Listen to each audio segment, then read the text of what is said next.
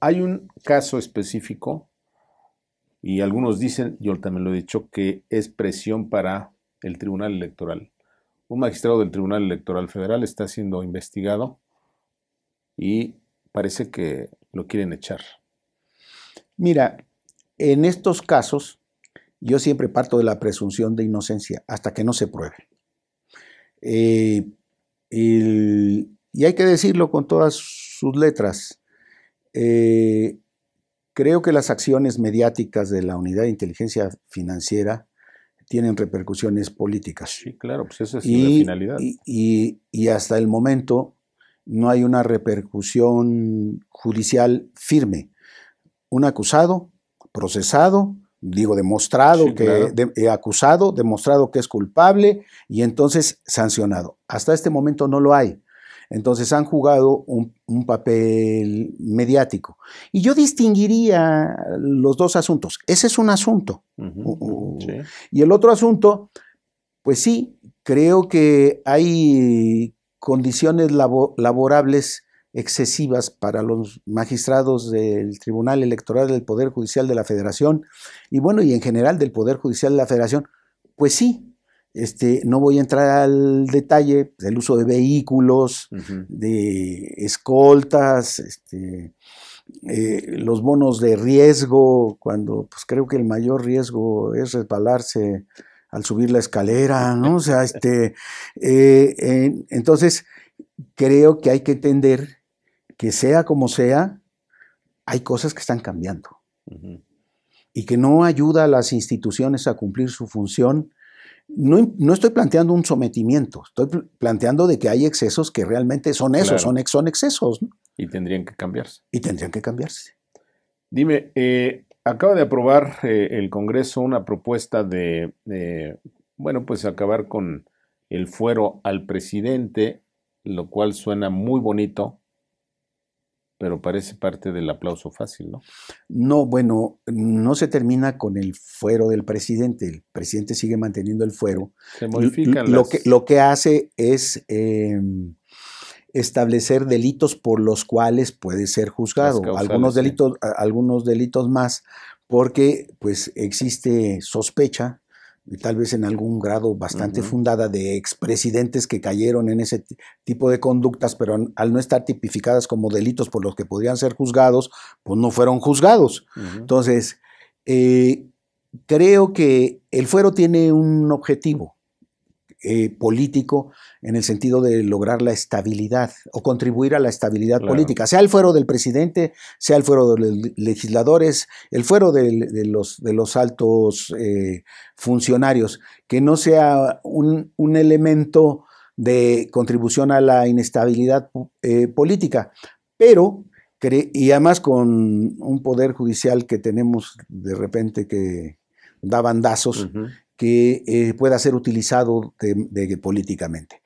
Pero creo que sí es correcto que se amplíen las, posibilidades de, delitos que pudiera cometer el presidente y cualquier otro funcionario para que pueda ser juzgado.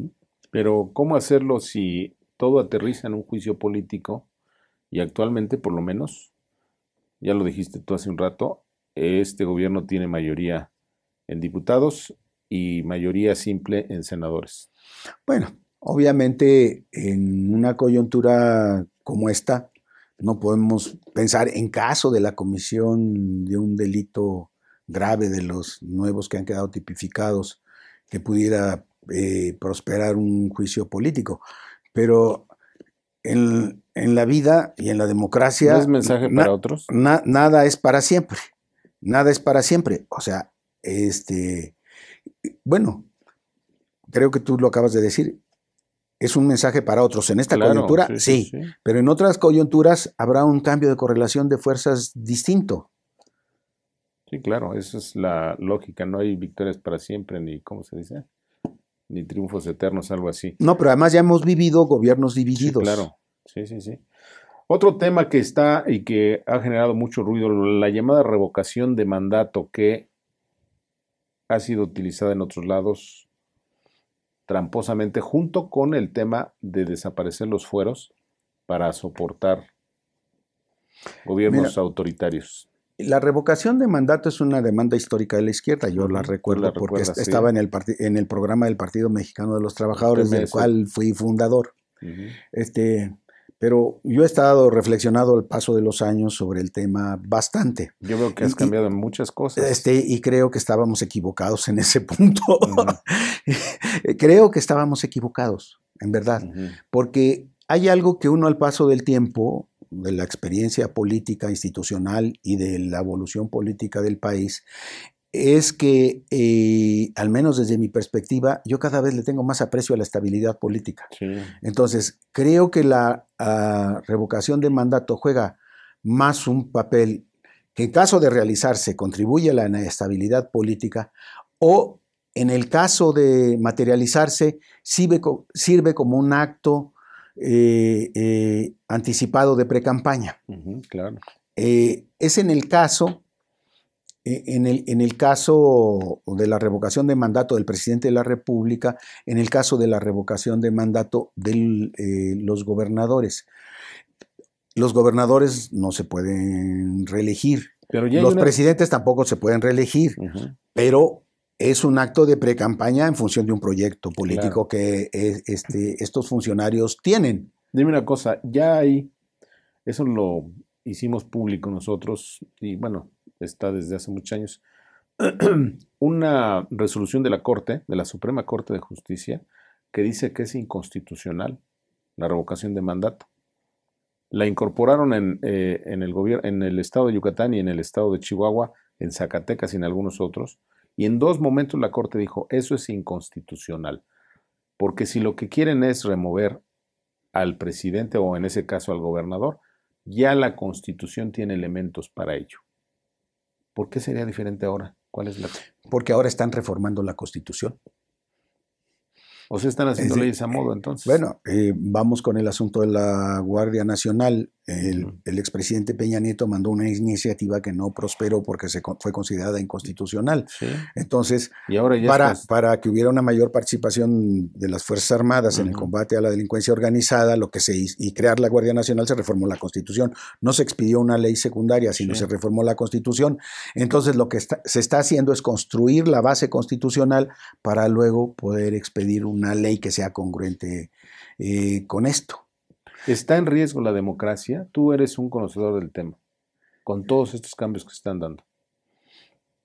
Siempre hay riesgos para la democracia. O sea, es como la vida misma, siempre hay riesgos para la vida, o sea, cualquier, si hay, si hay, si hay riesgos.